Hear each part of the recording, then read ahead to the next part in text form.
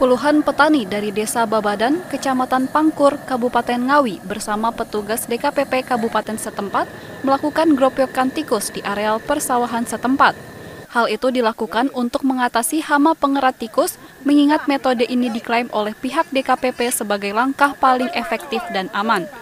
Adapun dalam prosesnya, para petani mengasapi liang tikus dengan menggunakan asap belerang, kemudian menunggu tikus yang sudah teracuni asap belerang keluar dari liang atau membongkar liang tersebut untuk mengambil tikus yang sudah sekarat.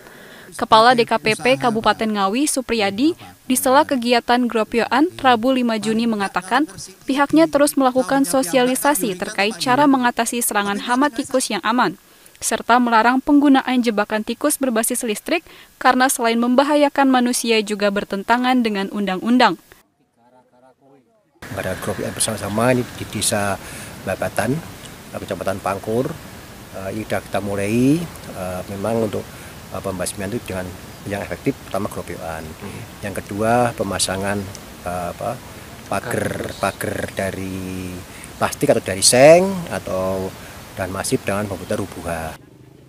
Dalam kegiatan tersebut, di KPP bersama polisi dan petani juga melepas jebakan tikus berbasis listrik yang ada di sekitar lokasi. Pembasmian hama tikus hingga saat ini masih menjadi persoalan tersendiri mengingat proses reproduksi hewan pengerat tersebut yang sangat tinggi. Dari Kabupaten Ngawi, Jawa Timur, Rindu Dwi Kartiko, Kantor Berita Antara, Muartakan.